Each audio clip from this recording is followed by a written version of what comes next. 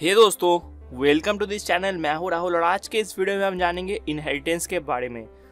तो ये एक सॉफ्टवेयर इंजीनियरिंग का सीरीज़ चल रहा है तो अगर आपको सारे वीडियोस देखना है तो आई बटन को चेकआउट कर सकते हैं। तो चलिए देख लिया जाए।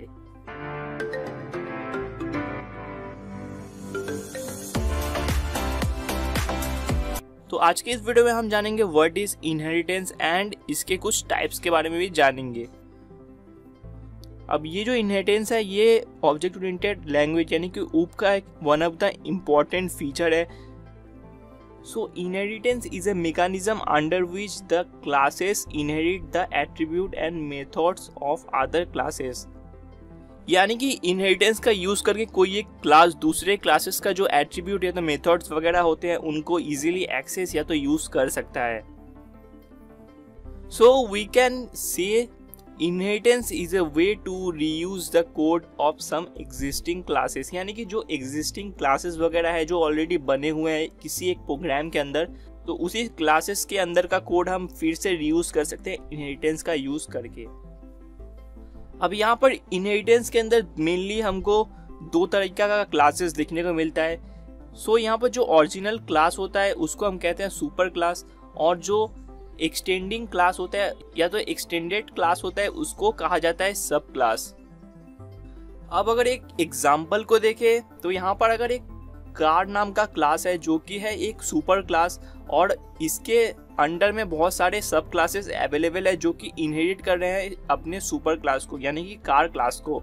तो यहाँ पर जो सब क्लासेस है, वो है S U V sedan sports car roadster अब ये सारे जो सब क्लासेस है, इसके अंदर हमको कुछ कॉमन एट्रीब्यूट्स तो सेम देखने को मिलते हैं। जैसे सपोज़ नंबर ऑफ़ व्हील्स जो इंजन हो गया, इसके अलावा कुछ कॉमन फीचर जो कि एक कार के अंदर हमको देखने को मिलते हैं, वो हम इनहेरिट करेंगे कार क्लास से, जो कि हर एक सब क्लास में हमको देखने को मिलता ही है। तो इसको हर एक सब क्लास के लिए इंडिविजुअली लिखने से अच्छा है, हम एक सुपर क्लास बना ले और उसी का जो फीचर है, वो सारे क्लासेस में इनहेरिट कर ले।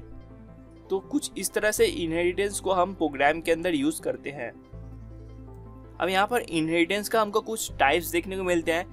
अब ये जो टाइप्स है, ये लगभग हर एक प्रोग्रामिंग लैंग्वेज में हमको देखने को मिलता है ऑब्जेक्ट ओरिएंटेड लैंग्वेजेस में। तो यहाँ पर जो फ़र्स्ट टाइप है इनहेरिटेंस का, वो है single inheritance in single inheritance one class can have only one super class यानी कि सिंगल इनहेरिटेंस के अंदर एक सुपर क्लास होगा और एक सब क्लास जैसे कि आपको एक डायग्राम में दिख रहा होगा, यहाँ पर देखिए ए सुपर क्लास है और बी है जो, वो सब क्लास है।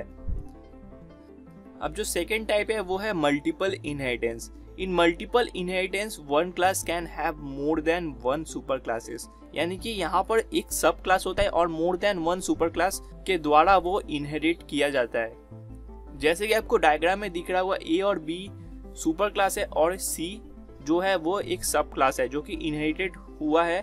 ए और बी के द्वारा। फॉर एग्ज़ाम्पल ए क्लास और बी क्लास में हमको कुछ ऐसा फीचर देखने को मिलता है जो कि कॉमन है सी क्लास के लिए।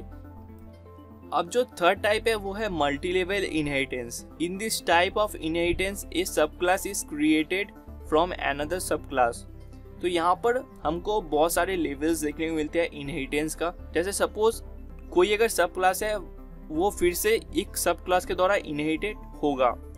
तो यहाँ पर जो डायग्राम है राइट साइड में, यहाँ पर देखिए आपको तीन क्लासेस देखने को मिल रहे हैं। जो ए है वो एक सुपर क्लास है और ए एक्सटेंड किया है बी क्लास को। अब यहाँ पर बी हो गया एक सब क्लास जो कि एक्सटेंडेड है ए के द्वारा। अब बी क्लास भी एक्सटेंडेड किया गया है सी क्लास के द्वारा तो यहाँ पर सी हो गया एक सब क्लास तो कुछ इस तरह से मल्टी लेवल इनहेरिटेंस हमको देखने को मिलता है बहुत सारे लेवल्स के फॉर्म में। अब जो फोर्थ टाइप है, वो है hierarchical inheritance in hierarchical inheritance one class is inherited by many classes तो यहाँ पर जो हायरार्किकल इनहेरिटेंस होता है, यहाँ पर मेनली एक सुपर क्लास होता है और वो इनहेरिट किया जाता है बहुत सारे सब क्लास के द्वारा. जैसे कि आपको डायग्राम में दिख रहा होगा, जो ए सुपर क्लास है, वो इनहेरिटेड हुआ है बी सी और डी ये तीनों सब क्लास के द्वारा। यानी कि ए क्लास में हमको कुछ ऐसे फीचर्स देखने को मिलते हैं, जो कि बी सी और डी इन तीनों क्लास के अंदर कॉमन है। तो इसीलिए ए क्लास जो है, वो तीनों क्लासेस के द्वारा इनहेरिटेड हुआ है। अब जो फिफ्थ टाइप है, वो है hybrid inheritance hybrid inheritance is a combination of single and multiple inheritance ये बहुत सारे सिंगल और मल्टीपल इनहेरिटेंस को कंबाइन करके क्रिएट किया जाता है। तो यहाँ पर देखिए आपको एक डायग्राम दिख रहा होगा पर आपको चार क्लासेस दिख रहे होंगे। अब यहाँ पर मेन जो सुपर क्लास है, वो है ए ए क्लास जो है, वो बी और सी के द्वारा इनहेरिटेड हुआ है। तो यहाँ पर बी और सी हो गया सब क्लासेस तो यहाँ पर बी और सी के अंदर कुछ ऐसे कॉमन फीचर देखने को मिलते हैं, जो कि ए क्लास के अंदर है तो इसीलिए तो इसीलिए ये इनहेरिटेड हुआ है। अब यहाँ पर देखिए बी और सी के अंदर कुछ ऐसे फीचर है जो कि हमको डी के अंदर कम्बिनेशन उसका देखने को मिलता है। तो इसीलिए बी क्लास और सी क्लास दोनों इनहेरिटेड हुआ है डी क्लास के द्वारा। तो ये एक सिंपल एग्ज़ाम्पल है हाइब्रिड इनहेरिटेंस का। अब मेनली कॉम्प्लेक्स प्रोग्राम के अंदर हाइब्रिड इनहेरिटेंस को ही यूज़ किया जाता है मैक्सिमम टाइम तो फ़िलहाल के इस वीडियो में इतना ही। इस वीडियो में हमने इनहेरिटेंस के बारे में जाना तो अगर आपको ये वीडियो पसंद आया हो, वीडियो को लाइक करना मत बोले चैनल को सब्सक्राइब कर लीजिए, ऐसे और भी इंटरेस्टिंग वीडियोस देखने के लिए। थैंक यू दोस्तों, वीडियो को देखने के लिए हम फिर मिलेंगे अपने अगले वीडियो में।